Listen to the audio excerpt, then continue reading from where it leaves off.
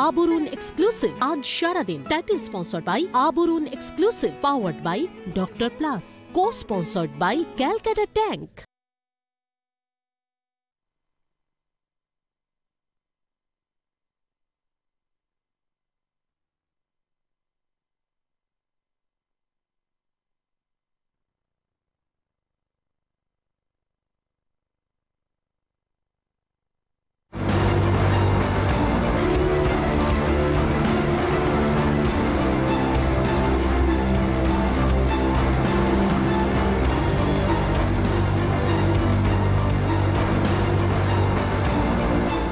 ফিরে আসলাম বিরতির পর আমরা শুনছিলাম প্রধানমন্ত্রীর সতর্ক বার্তা ঘর থেকে কাজ করতে অ্যাডভাইস করেছেন। প্রধানমন্ত্রী ওয়ার্ক ফ্রম হোম উনি বলেছেন, খোলা জায়গায় ঘোরাঘুরি করা উচিত নয়। বারণ করেছেন। উনি বলেছেন, ভিড় জায়গায় অ্যাটেন্ড করা, ঘর থেকে বেরিয়ে বাইরে ঘোরা মার্কেটিংয়ে করতে যাওয়া মলে যাওয়া এই সমস্তগুলো থেকে আপাত মানুষকে বিরত থাকতে বলেছেন। বিশেষ করে বিশেষ করে যাদের বয়স ষাটের বেশি, সিক্সটি টু সিক্সটি ফাইভ, যেহেতু তাদের বডি ইমিউনিটি পাওয়ার কম্পারেটিভলি কম, যেহেতু above sixty to sixty five তাদের ইমিউনিটি পাওয়ার কম, তাদেরকে স্পেসিফিক্যালি ঘরের থেকে বাইরে বেরোতে স্ট্রিক্টলি বারণ করা হয়েছে স্ট্রিক্ট যাদের বয়স বেশি, তারা ডেফিনেটলি বাড়ির বাইরে বেরোবেন না। যেটা অ্যানাউন্সমেন্ট টোয়েন্টি সেকেন্ড মার্চ আপনাদের ক্যালেন্ডারে আগামী রবিবার from seven A M to nine P M অর্থাৎ duration almost fourteen hours Janata curfew Janata curfew that means সাধারণ মানুষকে উইলিংলি কারফিউ করতে বলেছেন প্রধানমন্ত্রী। অর্থাৎ from seven AM to nine PM আপনারা ঘরের বাইরে বেরোবেন না। এটা আমার খুব সম্ভবত মনে হয় যে আমি জিজ্ঞেস করছিলাম নিচে স্যারকেও যে কী ব্যাপার, এটা টোয়েন্টি সেকেন্ড অফ মার্চ কেন? উনি এটা টেস্টিমোনিয়াল অর্থাৎ বাইশে মার্চ একবার দেখে নেওয়া হচ্ছে যে কি রেসপন্স আসে। তারপরে আগামী দিনে এটাই একটা ইনফরমেশন থাকবে মানুষের কাছে যে স্টে অ্যাট ইয়োর হোম বাড়িতে থাকুন, বাড়ির বাইরে বেরোবেন না। এক্সেপ্ট এমার্জেন্সি সার্ভিসেস তাদের বেরোতেই হবে, কিছু করার নেই। সাতটা থেকে নটা। প্রধানমন্ত্রী এটাও বলেছেন, ওই একই তারিখে, অর্থাৎ বাইশ তারিখ, রবিবার, ঠিক বিকেল পাঁচটার সময়, ঠিক বিকেল পাঁচটার সময় আপনারা যে যার বাড়ির ব্যালকনি, দরজা, খোলা জানলা, সেখানে এসে দাঁড়াবেন এবং হাততালি দিয়ে, ঘণ্টা বাজিয়ে, কাঁসর বাজিয়ে, উলুধ্বনি দিয়ে, শঙ্খ বাজিয়ে আপনারা তাদেরকে ধন্যবাদ জানাবেন যারা এই মহা মহামারীর সময়, মহা সংক্রমণের সময়ও তাদের কাজ করছেন। তাদের মধ্যে কমিউনিটি আছেন, তাদের মধ্যে ডক্টরস আছেন, তাদের মধ্যে নার্স আছেন, এই সমস্ত বিষয়গুলো আছেন, তাদের মধ্যে প্রেস কর্মী আছেন, তাদের মধ্যে মিডিয়া যারা কানেক্টিভিটিস রাখছেন তারা আছেন, তাদের মধ্যে বাসওয়ালা আছেন, বাস যিনি চালান, অটো যিনি চালান তারা আছেন, যারা খাদ্য সবজি বিক্রি করছেন তারা রয়েছেন। তো এই সমস্ত জায়গা থেকে আপনারা এই বিষয়ে সতর্ক থাকবেন। আচ্ছা আমি একটু দেখানোর চেষ্টা করি। আমাদের সঙ্গে প্রতিনিধি সুদীপ্ত পাল আমাদের সঙ্গে রয়েছেন। সুদীপ্ত শোনা যাচ্ছে? বেশ আমি সুদীপ্তর সঙ্গে কথা বলবার চেষ্টা করি এবং সুদীপ্ত কি বলছে আমি জানানোর চেষ্টা করি। সুদীপ্ত শহর কলকাতায় আমার কাছে কিছুক্ষণ আগে এসে খবর পৌঁছলো। সেক্টর ফাইভের মহিষ বাথান এলাকায় রয়েছে। তো সুদীপ্ত, কি ছবি দেখতে পাওয়া যাচ্ছে? একটু যদি আমাদেরকে বলার চেষ্টা করা যায় যে কি অবস্থা এখন শহর কলকাতার রাস্তায়? ঘড়ির কাটায় দশটা বেজে পাঁচ সাত মিনিট হয়েছে।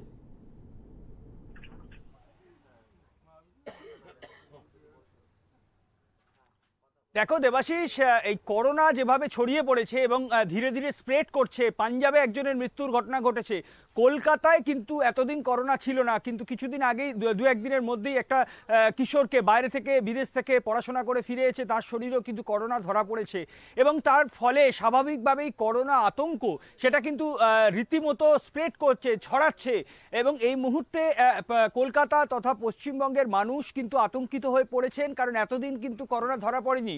এরপর যখন দেখা যাচ্ছে কলকাতাতেও করোনা ধরা পড়েছে বা পাঞ্জাবে একজনের মৃত্যুর ঘটনা ঘটেছে এবং অন্যান্য জায়গাতেও একে একে কিন্তু মৃত্যুর সংখ্যা বাড়ছে, সব মিলিয়ে কিন্তু আতঙ্কে রয়েছেন সাধারণ শহরবাসী।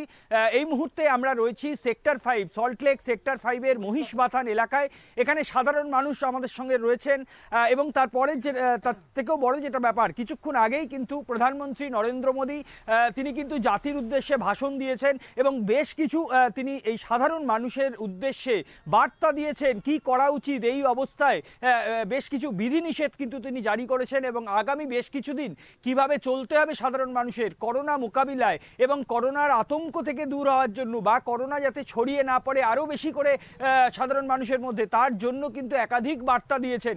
পাশাপাশি তিনি বলেছেন, এই এই মুহূর্তে সারা দেশ জুড়ে যেভাবে করোনা আতঙ্ক বাড়ছে বা করোনায় আক্রান্তের সংখ্যা বাড়ছে, তাতে করে একটা মহামারীর পরিস্থিতি তৈরি হয়েছে। তিনি কিন্তু বারে বারে জানিয়েছেন, সাধারণ মানুষ যেন ঘর থেকে বের না হন।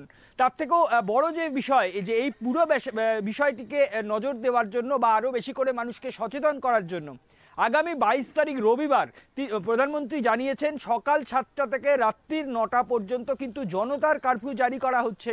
সেই সময় যেন সাধারণ মানুষ না বেরোন এবং অযথা কোনো হাসপাতালের খুব যদি জরুরি প্রয়োজন না থাকে, তাহলে যেন কেউ হাসপাতালে না যান এবং মূলত যারা বয়স্ক ব্যক্তি আছেন, তারা যেন বাড়ি থেকে না বেরোন। এমন বেশ কিছু বার্তা কিন্তু তিনি সাধারণ মানুষের উদ্দেশ্যে দিয়েছেন করোনা মোকাবিলায়, করোনার বিষয়ে মানুষকে আরও বেশি করে সচেতন করার জন্য বা করোনা যেন আরও আগামী দিনে ছড়িয়ে না পড়ে, সে বিষয়ে কিন্তু মানুষকে সচেতন করার জন্য একাধিক বার্তা তিনি দিয়েছেন। এই মুহূর্তে আমার সঙ্গে কিন্তু এই এলাকার বেশ কিছু মানুষ আছেন যারা কিন্তু এই খবরগুলো প্রধানমন্ত্রীর বার্তা কিন্তু তারা শুনেছেন এবং করোনা নিয়ে বেশ কিছুদিন ধরে যে অবস্থা তৈরি হচ্ছে তারা রীতিমতো আতঙ্কিত। যদিও সচেতনতা সবাই কিন্তু এখানে মেনে চলার চেষ্টা করছেন, কিন্তু একটা আশঙ্কা প্রত্যেকের মধ্যেই থেকে যাচ্ছে। আমি প্রথমেই একজনের কাছে যাব এবং একটু জানার চেষ্টা করব। প্রধানমন্ত্রী আজকে জাতির উদ্দেশ্যে ভাষণ দিয়েছেন এবং তিনি বলেছেন, বিশ্বজুড়ে কোথাও যদি ভয়াবহ পরিস্থিতি তৈরি হয় তাহলে এই এই করোনা নিয়ে কিন্তু তৈরি হয়েছে। মহামারীর আকার নিয়েছে করোনা। আপনার কি বক্তব্য? যেভাবে একে একে মৃত্যুর সংখ্যা বাড়ছে, আক্রান্তের সংখ্যা বাড়ছে, এটা কি মহামারীর মতো পরিস্থিতি তৈরি হচ্ছে? হ্যাঁ এটা মহামারী অবস্থার পরিবর্তন অবস্থার সৃষ্টি হয়েছে। এটা খুবই চিন্তিত। সাধারণ মানুষ খুবই চিন্তিত। আরও গ্রাম বাংলায় এইটি পার্সেন্ট লোক গ্রাম বাংলায় থাকে, গ্রাম বাংলায় সেভাবে প্রচার হয়নি। আমাদের মুখ্যমন্ত্রী মমতা ব্যানার্জি বারবার বলছে যে এটাকে আপনারা সব মানুষের থেকে দূরে থাকুন, সব মানুষের কাছ থেকে মানে হাত টাত পরিষ্কার করুন সব কিছু মুখ্যমন্ত্রীও তার স- স্বতঃস্ফূর্তভাবে সাধারণ মানুষকে সচেতন করেছেন। আর প্রধানমন্ত্রী যেটা করেছেন, সেটা তো মানে জানি না এর যুক্তিকতা কোথায়, যে একদিন বার না হলে যে করোনা ভাইরাস কমবে, আমার মনে হয় না। আরও যে শিক্ষিত মানুষরা যেভাবে এয়ারপোর্ট বিমানবন্দরে এসেছে, তারা তাদের যে ট্রিটমেন্ট করা দরকার ছিল, সেই ট্রিটমেন্ট এখনও মানে সরকার সেইভাবে করেনি। আমার মনে হয় এরা একবার পরীক্ষা নিরীক্ষা করে তাদেরকে ঠিক স্থানে পৌঁছে দেওয়া দরকার। আর কিছু কিছু মানুষ ছেড়ে দিয়ে মানে ধরে ধরে ফেলছে। মানে সাধারণ মানুষ এয়ারপোর্টে এসেছে, তাদেরকে সিজ না করে, চিকিৎসা না করে কিছু কিছু মানুষকে বাড়ি পাঠিয়ে দিয়েছে। আমার মনে হয় আমাদের ভারতবর্ষের ইনফ্রাস্ট্রাকচারটা খুবই দুর্বল হয়ে আছে। সাধারণ মানুষের কাছে আগে যান।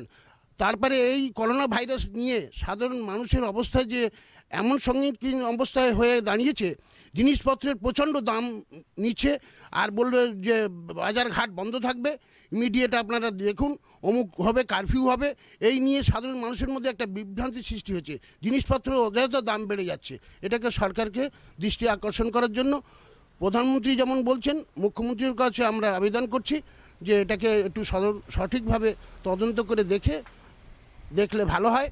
আমাদের দেশে একাধিকবার বিভিন্ন বিপর্যয় এসছে সুনামির মতো বিপর্যয় এসছে বিভিন্ন রকম বিপর্যয় এসছে। কিন্তু এই যে ভাইরাস বিপর্যয় এবং এই ভাইরাস বিপর্যয়ের মধ্যে দেশ একটা কঠিন পরিস্থিতির মধ্যে দিয়ে চলছে আপনারও কি তাই মনে হয় যে এই যে বিভিন্ন ঘটনা এর আগেও ঘটেছে বিভিন্ন প্রাকৃতিক দুর্যোগ এসছে কিন্তু যেভাবে করোনা ভাইরাসের থাবা এই দেশবাসীর উপর পড়েছে তাতে করে কি মনে হচ্ছে দেশ একটা কঠিন সময়ের মধ্যে দিয়ে যাচ্ছে? কঠিন সময়ের মধ্যেই যাচ্ছে এখন। এখন এই করোনা ভাইরাস নিয়ে যে পরিস্থিতির মধ্যে চলছে, তাতে মানুষ বেশিরভাগই আতঙ্কে আছে। মানে রোগ যেভাবে ছড়াচ্ছে, তার থেকে দশগুণ মানুষ আতঙ্কে আছে। এই আতঙ্ক কাটানোর জন্য সরকারের কোনো পদক্ষেপ নেওয়া উচিত, যাতে এই আতঙ্ক থেকে মানুষ মুক্ত হয়। কেননা যেভাবে মানুষ, এই যে আমার আমার এক গ্রামবাসী যারা বলল যে যেভাবে জিনিসপত্রের দাম বাড়ছে মানে কালকে একরকম ছিল, আজকে একরকম হয়ে যাচ্ছে। মানে মানে ভাবা যাচ্ছে না যে এই- জিনিসটা কোথায় গিয়ে থামবে বা কী পরিস্থিতির মধ্যে দাঁড়াবে। এবং এই যে চব্বিশ ঘণ্টা বন্ধ থাকবে, নিশ্চয়ই সাধারণ মানুষের ভালোর জন্যই একটা ডিসিশন নিচ্ছে সরকার। এটা মানে অস্বীকার করা যাচ্ছে না কে কী পরিস্থিতি নিচ্ছে। এবং পশ্চিমবাংলার মুখ্যমন্ত্রী মুখ্যমন্ত্রী মমতা ব্যানার্জি যেটা বলেছেন বা যেটা স্টেপ নিচ্ছেন যে সাধারণ মানুষের জন্যে, আমার মনে হয় এর আগে কোনো দিন এরকম স্টেপ নিতে আমরা দেখিনি যে মানুষ কীভাবে তারা আগামী দিন চলবে। এবং এই এই এই রোগ কীভাবে আটকানো যায়, সেই চিন্তা ভাবনা নিয়ে প্রত্যেকে কাঁধে কাঁধ মিলিয়ে এবং এই প্রচারটা এমন একটা জায়গায় যায় যাতে মানুষ প্রত্যেকে সচেতন হয় এবং এই যেটা ছড়াচ্ছে আর কি, যে আতঙ্কে আছে, এই আতঙ্কটা যাতে কাটানো যায়, এটা সেইভাবে সরকার কীভাবে প্রচার করলে এই প্রস্তুতিটা নেওয়া যায়, সেটা যেন সেইভাবে নেয় এই বলি। প্রধানমন্ত্রী বলেছেন, দেশ এই মুহূর্তে বিশ্বযুদ্ধের থেকেও ভয়াবহ পরিস্থিতিতে দাঁড়িয়ে আছে। আপনিও কি তাই মনে করেন যে পরিস্থিতি যে এই করোনা নিয়ে যে অবস্থা, তা বিশ্বযুদ্ধের থেকেও ভয়াবহ? নিশ্চয়ই, এটা অত্যন্ত ভয়াবহ, কারণ মহামারী তো লেগেই গেছে সারা পৃথিবীতে। এর মধ্যে কোনো সন্দেহ নেই। তবে এই একদিনের এই যে, এটা আমাদের একটা অভিনব প্রচেষ্টা। যে প্রচেষ্টা যে আমরা এই জনতা কারফিউ যেটা বলছেন, এর রেজাল্ট কি হবে সেটা পরে দেখা যাবে। রেজাল্ট সম্বন্ধে কিছু বক্তব্য রাখতে চাই না। কিন্তু শুধু একদিনের এই কারফিউয়ে কি কিছু রেজাল্ট পাওয়া যাবে? যেটা উনি বলছেন যে আমাদের এখনও চেষ্টা চলছে, এর প্রতিষেধক বা চিকিৎসা। তো হচ্ছে না বললেই চলে। আর কিছু মানুষের অসচেতনার জন্য যে জিনিসগুলো ছড়াচ্ছে, এবং তারা সবই শিক্ষিত মানুষ, যা দেখা যাচ্ছে। এই শিক্ষিত মানুষকে একটুখানি প্রপারলি শিক্ষিত করলে বোধ হয় ভালো। কারণ ওরা তো খুব উচ্চ শিক্ষিত লোক। ওনারা নিজেদের কেন মানলেন না সেটা উনিই বলতে পারবেন উত্তরটা। কিন্তু উনি না মানার জন্য মনে তো হয় বেশ খানিকটা ছড়িয়েছে রোগটা। আর এই দ্রব্যমূল্যের ব্যাপারটা যেটা বলছেন, সেটা তো বাড়বেই। আরও এই একদিনের এই কারফিউ যে জনতা কারফিউ বলছে এতে কি রেজাল্ট হবে সেটা বোঝা যাচ্ছে না। এর প্রপার কিছু ভাবে এটাকে আরও বেশি ইয়ে করার দরকার। এখানে আরও একটা ব্যাপার যে এই মুহূর্তে প্রধানমন্ত্রীর বার্তা যে সবাইকে একজোট হয়ে করোনার বিরুদ্ধে লড়তে হবে। অর্থাৎ জাতি, ধর্ম নির্বিশেষে, সব রাজনৈতিক দল নির্বিশেষে কোনো রাজনীতি না করে সবাই মিলে যৌথভাবে কিন্তু করোনার বিরুদ্ধে প্রতিবাদ, আন্দোলন, সচেতনতা গড়ে তুলতে হবে। আপনার কি বক্তব্য যে এইভাবে কি করোনার উদ্দেশ্যে সবাইকে যৌথভাবে লড়াই করা উচিত? অবশ্যই। সাধারণ মানুষ করোনার ভয়তে সব কিছু মার্কেট যেতে ভয় করছে। বাইরে বেরোতে ভয় পাচ্ছে। যারা গরিব লোক, তারা সাধারণ মানুষ, অনেকে আছে, কিছু কিছু মানুষ আছে, কিছু কিছু মাল, দোকান বন্ধ থাকবে, সব যত বলা হচ্ছে, তারা যাদের পয়সা আছে, তারা কিনছে, কিন্তু সাধারণ মানুষ তারা কি করবে? যারা দিন আনে, তিন খায়, কি করবে? তাদের অবস্থা তো বুঝতে হবে।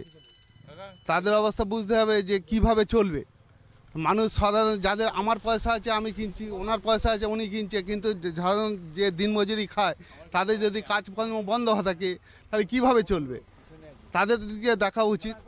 আচ্ছা এখানে আরও একটা বিষয় আমি আপনাকে যাওয়ার চেষ্টা করব। করোনার এখনও পর্যন্ত কোনো প্রতিষেধক হয়নি অর্থাৎ ক্যান্সারের মতো একটা পরিস্থিতি তৈরি হয়েছে। সেই জায়গায় করোনার প্রতিষেধক তৈরির চেষ্টা হচ্ছে। কতটা আতঙ্কিত এখনও করোনার কোনো রকম ওষুধ নেই এবং সেই ওষুধ তৈরির চেষ্টা যদিও হচ্ছে সেই হিসাবে এই করোনা রোগ নিয়ে কতটা আতঙ্কিত আপনি? আমি বলতে পারব না। আমি আপনি কতটা আতঙ্কিত করোনা নিয়ে? বিশাল আতঙ্কিত। করোনার তো কোনো এখনও ওষুধ তৈরি হয়নি। আমরা কি করে বলব? আমরা তো হচ্ছে গরিব লোক। আমরা বিদেশ থেকে এখানে কাজের জন্য এসেছি। মানে নন্দীগ্রাম থেকে এখানে হচ্ছে কলকাতাতে কাজের জন্য এসেছি। কতটা আতঙ্কিত রয়েছেন? এই যে আপনার নিজের জেলায় নেই আপনি। অথচ এখানে এইভাবে করোনার খবর শুনছেন একের পর এক আক্রান্ত হচ্ছে। কতটা আতঙ্কিত রয়েছে? এ তো বিশাল আতঙ্কিত আছি। কেন বাড়িতে হচ্ছে ছেলে মেয়ে বাচ্চা কাচ্চা সবাই আছে। আমরা তো বিশাল আতঙ্কিত আছি। কেন আমরা কি করে বাঁচবো? ছেলে মেয়েকে কি করে বাঁচাবো? আমরা তো আতঙ্কিত আছি। আমরা দিন আনলে দিন খাই। তো আমরা এখানে তো এত পয়সা করি নেই যে এখানে নিয়ে যাব, ওখানে নিয়ে যাব, গাড়ি ভাড়া করব, ওখানে নিয়ে যাব, এরকম তো পয়সা করি নেই। তাহলে আমাদের তো বিশাল আতঙ্কিতেই আছি। আমি আরও একজনের সাথে কথা বলার চেষ্টা করব, যে প্রধানমন্ত্রী আজকে তার বার্তায় বলেছেন যে ভিড় এড়িয়ে চলুন, রাস্তায় বেরোবেন না। এই যে আপনারা রাস্তায় বসে আছেন, দোকানে কথা বলছেন বা হয়তো একসাথে মিলে গল্প করছেন, চা খাচ্ছেন, কতটা আতঙ্কিত বোধ করছেন এবং প্রধানমন্ত্রী এই বার্তার পর আপনি কি ঘরবন্দি হয়ে থাকবেন আগামী বেশ কিছুদিন? নাকি সতর্ক থেকেও রাস্তায় বেরোবেন? না মানে এটা এটা তো ভালো জিনিস এটা করেছে কিন্তু বেরোতে তো হবেই কেননা মানুষের রুচি রোজগারের ব্যাপার আছে এ তো এই আর কি মানে এমনি সব কিছু ঠিক আছে কিন্তু বেরোতে হবে একটু মানুষকে নাহলে খাবার যে এ করতে পারবে না। মানে যারা দিন আনে দিন খায় তাদের তো বেরোতেই হবে তো কোনো চাকরি নয় যে কয়েকদিন অফিসে গেলাম। অফিস এইটাই প্রবলেম আর অন্য কিছু আমি বলতে চাই না। আরও একটা ব্যাপার আজকে প্রধানমন্ত্রী বলেছেন, এই সম্পূর্ণ ঘটনার উপর নজর রেখে আগামী বাইশে মার্চ অথবা আগামী রবিবার কিন্তু জনতার কারফিউ জারি করা হবে। অর্থাৎ একটা একটা মানুষকে বোঝাবার জন্য, মানুষকে সচেতন করার জন্য একটা প্রতীকী জনতার কারফিউ আগামী রবিবার সকাল সাতটা থেকে রাত্তার নটা পর্যন্ত কেউ যেন বাড়ির বাইরে না বেরোন। এবং এই যে প্রধানমন্ত্রীর বক্তব্য, এটা কীরকম মনে করছেন সাধারণ মানুষ? এই যে জনতার কারফিউ ঘোষণা করেছে সকাল সাতটা থেকে নটা পর্যন্ত না বেরোবার কথা বলেছেন আপনি কি কি- কি করবেন? সেই হ্যাঁ, রবিবার না বার হওয়াটাই ভালো। একটা দিন দেখা যাক না সারা জীবন তো আমরা সারা জীবন তো আমরা বার হই। একটা দিন অবজার্ভে থেকে কি- কিছু সমস্যা যদি হয় কিছু ভাইরাস কম হয় দেশের পক্ষেও মানে খুব ভালো। এটা খারাপ। যদি কোনো কাজ থাকে বা কোথাও যাওয়ার থাকে তাহলে কি করবেন? খুব জরুরি কাজ ছাড়া বার হওয়ার ঠিক হয় হবে না। আপনি কি সেদিন নিজের কোনো কাজ যদি থাকে তাহলে কি আপনি বেরোবেন না, নাকি অন্য কোনো আমার মনে হয় যে, এই যে ভাইরাসটা যে হারে ছড়াচ্ছে, সেই তুলনায় সেই দিনে অফ রাখলেই ভালো হয়। কেননা আমাদের সরকার যেটা চাইছে, যে এই রোগটা এমন একটা রোগ যে মানুষের, একটা মানুষ তো একটা মানুষের যেতে পাঁচ সেকেন্ড সময় লাগছে না, রোগে আক্রান্ত হয়ে যাচ্ছে। সেই ক্ষেত্রে চব্বিশ ঘণ্টা যদি বন্ধ থাকে, এই চব্বিশ ঘণ্টার মধ্যে সরকার যদি কোনো স্টেপ নিতে পারে নিয়ে যদি কোনো এই রোগকে প্রতিরোধ করতে পারে তাহলে আমার মনে হয় বন্ধ রাখাই উচিত এবং কেউ না বাড়া হয় উচিত। প্রয়োজন প্রধানমন্ত্রী আরও বলেছেন যে কোনো প্রয়োজন ছাড়া হাসপাতালে যাবেন না অথচ মানে অযথা ছোটোখাটো যদি রোগ হয় তার জন্য যেন এই দিনকে বাড়ি থেকে না বেরিয়ে হাসপাতালে যাওয়ার মতো যে যাতে করে সংক্রমিত না হওয়ার একটা আশঙ্কা থাকে হাসপাতালে যাবেন না। তা আপনার কি মনে হয়? এই বার্তাটা কীরকমভাবে দেখছেন বার্তাটা ভালোই কিন্তু জরুরি পরিস্থিতিতে তখন কি করা যাবে সেটা উনি কোনো সাজেশন দিলেন না বা উনারা বলে দিয়েছেন জরুরি পরিষেবা ছাড়া সামান্য কোনো দরকারে হলে হাসপাতালে যাবেন না খুব এমার্জেন্সি না হলে। এমনিতে হাসপাতালে যাওয়ার কোনো প্রয়োজনই নেই এমার্জেন্সি না হলে হাসপাতালে যাবে কেন মানুষের কোনো প্রয়োজন নেই। তিনি আরও বলেছেন যে রুটিন চেক যারা করান, অর্থাৎ আপনার হয়তো নির্দিষ্ট আউটডোরে দেখাবার কোনো ডেট আছে এই এর মধ্যে সেক্ষেত্রে আপনি যদি অ্যাভয়েড করেন দিনটা এবং সেটা যদি পরবর্তীকালে অন্য সময় করোনার আতঙ্ক কেটে গেলে যান সেটা হল সেই পরামর্শ দিয়েছেন প্রধানমন্ত্রী। আপনার কি মত? ঠিকই পরামর্শ দিয়েছেন। একদিনের রুটিন চেক আপ পরের দিনে চলে গেলে কোনো অসুবিধা হওয়ার কারোর কথা না। এটা তো রুটিন চেক আপ আরও একজনের সাথে কথা বলব, অস্ত্রোপচার কারোর যদি এর মধ্যে কোনো অপারেশন থাকে প্রধানমন্ত্রী এটাও বলেছেন যে অপারেশনটা এর মধ্যে করাবেন না, খুব এমার্জেন্সি না হলে অপারেশনের ডি- তারিখ পিছিয়ে দিন আপনার কী বক্তব্য? এটা তো অ্যাপয়েন্টমেন্ট করা আছে। মানে শুক্রবার কালকেই অ্যাপয়েন্টমেন্ট করা আছে।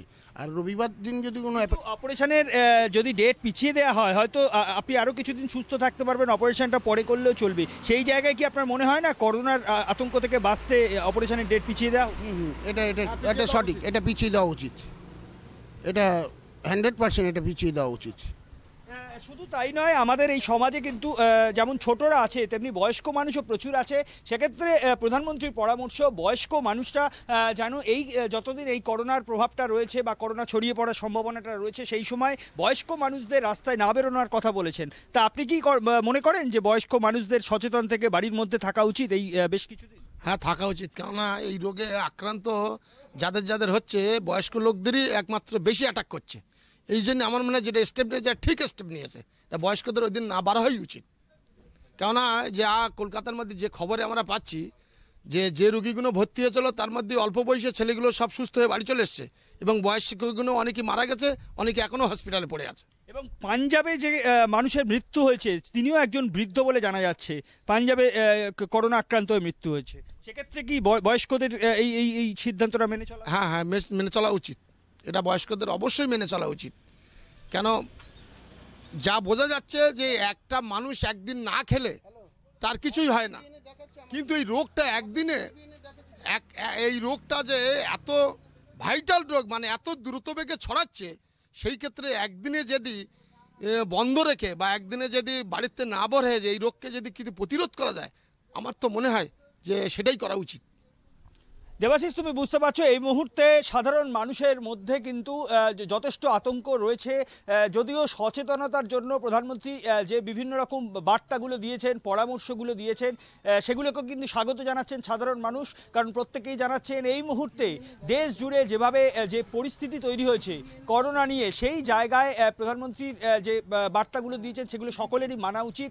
তাতে অন্তত করোনা আহ, কে প্রতিরোধ করার জন্য বা করোনা যাতে আরও ছড়িয়ে পড়তে না পারে সাধারণ মানুষের মধ্যে সেই জন্য কিন্তু বেশ কিছু জিনিস বেশ কিছু যে পরামর্শগুলো দেওয়া হচ্ছে সেগুলো কিন্তু মানা উচিত।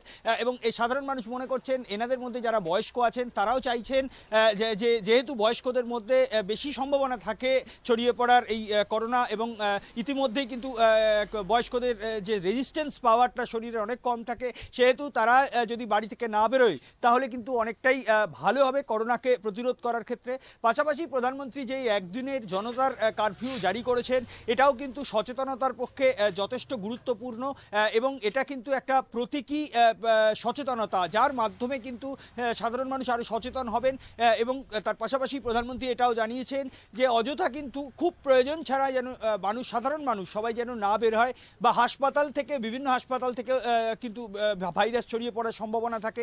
সেক্ষেত্রে মানুষের যদি খুব এমার্জেন্সি কিছু না থাকে, বা অস্ত্রোপচার করার মতো বড় কোনো অস্ত্রোপচার না থাকে, তাহলে এই অস্ত্রোপচারের দিন পিছিয়ে দেওয়া হোক বা কোনো জরুরি যদি কোনো প্রয়োজন না থাকে, তাহলে যেন সাধারণ মানুষ রাস্তায় না বেরোন এবং তার পাশাপাশি যাতে অনেকজন মিলে একসাথে ওই মিলিত হওয়ার যে ঘটনা, যে থেকে কিন্তু করোনাটা খুব সহজেই ছড়াতে পারে। হ্যাঁ কারণ এটা একটা মাস ভাইরাল অসুখ সেক্ষেত্রে এটা কিন্তু ছড়িয়ে পড়ার প্রবল সম্ভাবনা থাকে। প্রচুর মানুষে একসাথে থাকলে, সেক্ষেত্রে কিন্তু তার পরামর্শ যে, এড়িয়ে চলুন, ভিড় এড়িয়ে চলুন এবং যতটা সম্পর্ক সম্ভব নিজেকে বাঁচিয়ে চলুন, একটু অ্যালার্ট থাকুন এবং এর জন্য যা যা করা উচিত। বাড়ি থেকে যথেষ্ট কম বেরোনা বা একসাথে ঐক্যবদ্ধভাবে এই নিয়ে আন্দোলন করার বার্তা দিয়েছেন তিনি। এই ঐক্যবদ্ধ থাকার বার্তা দিয়েছেন তিনি, এবং এক্ষেত্রে যেন জাতি, ধর্ম বা কোনো সম্প্রদায়, কোনো রাজনৈতিক দল যেন কোনো বিভেদ না থাকে, তিনি সারা দেশবাসীকে কিন্তু ঐক্যবদ্ধভাবে লড়তে বলেছেন এই করোনার বিরুদ্ধে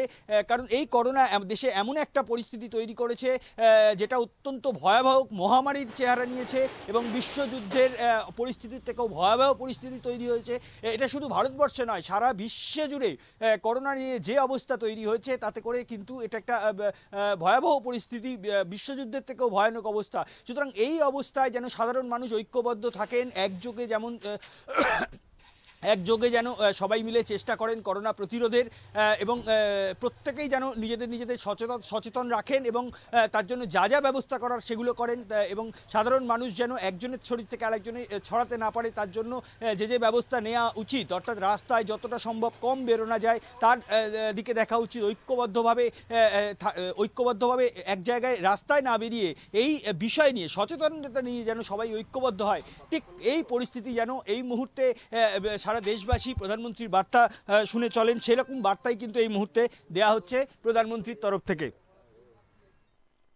বেশ।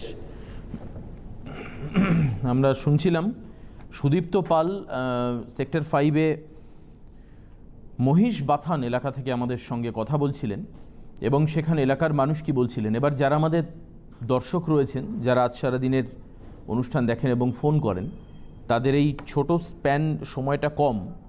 আপনাদের জন্য আজকে সময়টা কম, কিন্তু তবুও আপনাদের ফোন নিতে চাইব যে আপনারা কীভাবে নিজেদের প্রিকশন নিচ্ছেন। এই ব্যাপারে সতর্ক থাকবার জন্য। প্রধানমন্ত্রী যেটা একটা কথা বলেছেন যে ইকোনমিক্যাল ফল ডাউন হওয়ার একটা সম্ভাবনা রয়েছে। এক্ষেত্রে একটি টাস্ক ফোর্স তৈরি করা হয়েছে covid nineteen economic task force যেই টাস্ক ফোর্সের কাজ হবে, যে যে জায়গায় ক্ষতি হচ্ছে, সেই সেই জায়গায় অত্যন্ত সংবেদনশীলতার সঙ্গে তাকে ক্যারি ফরওয়ার্ড করতে, সেই জায়গাকে অবজারভেশন করতে। এটা বলেছেন, আর বাদবাকিটা সুদীপ্ত ওখানে বলছিল সবটাই বলেছেন সুদীপ্ত। উনি বলেছেন যে, মাইনে না কেটে যারা ডেইলি বেসিসে কাজ করে, তাদের ক্ষেত্রে উনি ইনস্ট্রাকশন দিয়েছেন যে, মাইনে না কেটে হিউম্যানিটির জায়গা থেকে দেখতে, কারণ তাদেরও পরিবার আছে, তাদেরও সেফ থাকার অধিকার আছে যারা বাড়িতে কাজ করে বা ইত্যাদি ইত্যাদি, এদের বিষয়ে। দুধ, ওষুধ, সবজি এটা কমবে না। প্রধানমন্ত্রী বলেছেন দুধ, ওষুধ, সবজি এগুলোকে মজুত করবার বা খাদ্য শস্য ফুড গ্রেইনস তাকে মজুত করবার একটা টেন্ডেন্সি মানুষের মধ্যে দেখতে পাওয়া যাচ্ছে। আজকে আমি শুনছিলাম যে অনেকে সারা মাসের বা দু মাসের যাদের হাতে পয়সা রয়েছে, যেটা সুদীপ্ত কথা বলছিলেন মানুষদের সঙ্গে তারা বলছেন যে আমরা কি করব? যে বড় লোকের একসঙ্গে দু মাসের খাদ্যদ্রব্য মজুত করতে পারেন বাট যে দিন আনে দিন খায়, তার প্যাটার্নটাই তো দিন আনবে এবং দিন খাবে। তো সে যদি দিন আনতে না পারে সে খাবে কি করে? তার ক্ষেত্রে প্রবলেম এক মাসের স্টোর করা সম্ভব নয়। কিন্তু প্রধানমন্ত্রী বলেছেন আপনি নিশ্চিন্ত থাকুন খাবার ওষুধ সবজি মাছ মাংস ইত্যাদির ক্ষেত্রে কোনো সমস্যা হবে না। অর্থাৎ তার অ্যাডিকুয়েট সাপ্লাই বাজারে থাকবে পর্যাপ্ত যোগান থাকবে। কাজে মজুত করার টেন্ডেন্সি আপনি করবেন না স্টক করার কোনো দরকার নেই। এটা কিন্তু উনি বলেছেন। কে রয়েছেন ফোনে হ্যালো হ্যাঁ নমস্কার কে বলছেন? আমি চৈতালি। চৈতালি- বলছি। চৈতালি দেবী আপনাকে স্বাগত বলুন। হুম, নমস্কার। নমস্কার। আচ্ছা আপনারা যে বলছেন যে আপনারা যে বলছেন আপনারা যে বলছেন ষাট পঁয়ষট্টি বছরের ওপরে যারা আছেন তারা বাড়ি থেকে না বেরোন। আচ্ছা ধরুন রাত যদি হসপিটালে কেমো চলে কি রেডিয়েশন চলে তখন এগুলো তো এগুলো তো চৈতালি ম্যাডাম এগুলো তো এমার্জেন্সি বেসিস এগুলো এমার্জেন্সি বেসিস যতটা সম্ভব যদি মনে হয় যে কেমোর ডেটকে ডিলে করা সম্ভব, বা ধরুন তার ডায়ালিসিস হচ্ছে, যেগুলো খুব ইম্পর্টেন্ট সেগুলোকে যদি যদি মানে যিনি পেশেন্টের যে গার্জিয়ান বা পেশেন্ট পার্টি তারা বুঝবেন যে তার ইম্পর্টেন্স কতটা। যদি কেমো একটু পেছনো যায় তো অসুবিধে নেই। প্রধানমন্ত্রী আজকে এটা বলতে চেয়েছেন, আপনি ডেফিনেটলি সঠিক জায়গাটা বলেছেন, বা অনেকের রেগুলারলি মেডিকেল অ্যাসিস্ট্যান্সের দরকার হয়। তারা কি করবেন? তারা কি তাহলে বাড়ির বাইরে বেরোবেন? না এগুলো এমার্জেন্সি বেসিস তবে যদি সম্ভব হয় তাদেরকে বাড়িতেই রাখুন। দেখা যাচ্ছে তার ডায়ালিসিস না করলেই নয়। এবার আপনি ডায়ালিসিস তো বাড়িতে করাতে পারবেন না। কেমোথেরাপি তো বাড়িতে করাতে পারবেন না। তার জন্য আপনাকে হসপিটাল যেতে হবে। তো সেইটা যদি একেবারে আপনি একটা চেষ্টা করবেন যে গাড়ির মধ্যে পরিষ্কার পরিচ্ছন্নভাবে তাকে নিয়ে যেতে এবং বাড়িতে নিয়ে আসতে তবু হসপিটালে গেলে একটা মাস কমিউনিকেশন থাকবেই। এটা বিপজ্জনক। কিন্তু আপনি যেটা বলছেন যে ডেফিনেটলি সেটাও চিন্তার বিষয় যে যাদের কেমো চলছে যাদের ডায়ালিসিস চলছে যাদের এমার্জেন্সি মেডিকেল অ্যাসিস্ট্যান্স দরকার তারা কি করবেন? বাড়িতে যদি চিকিৎসা কানা সম্ভব হয় তাহলে হবে। আর যদি যেতে হয় হসপিটালে তাহলে যেতে হবে কিছু করার নেই। কিন্তু চেষ্টা করতে হবে যদি ডিলে করানো যায়। কে আছেন ফোনে হ্যালো হ্যালো হ্যাঁ নমস্কার। কে বলছেন? আমি জ্যোতি বিশ্বাস বলছি বারাসাত পরিষ্কার করে বলুন। জ্যোতি বিশ্বাস বারাসাত থেকে বলছি। বলুন স্বাগত। জ্যোতি বিশ্বাস বারাসাত থেকে বলছি। স্বাগত বলুন জ্যোতিবাবু। জ্যোতি বিশ্বাস বারাসাত থেকে বলছি। এই যে করোনা নিয়ে যে আমাদের জনৈক আমলার ছেলে যে ঘুরে আসলো হুম। তা এনার এগেন্স্ট থেকে কোনো অ্যাকশন নেওয়া হচ্ছে না?